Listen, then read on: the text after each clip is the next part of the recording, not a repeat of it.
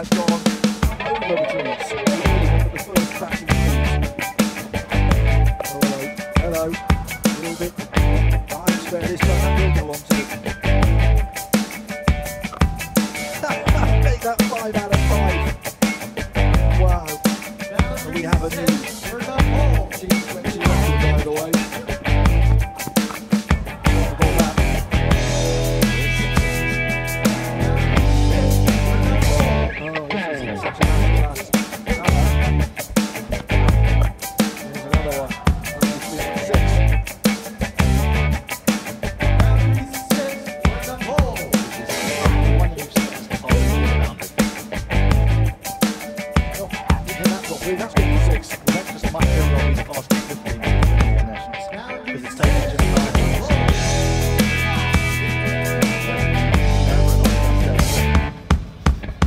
कैसे लगे आपको दीपेंद्र वीर धुआंधार पाई कमेंट बॉक्स में कमेंट ज़रूर देगा। और ऐसी और लेटेस्ट अपडेट के लिए चैनल को सब्सक्राइब कर दीजिए।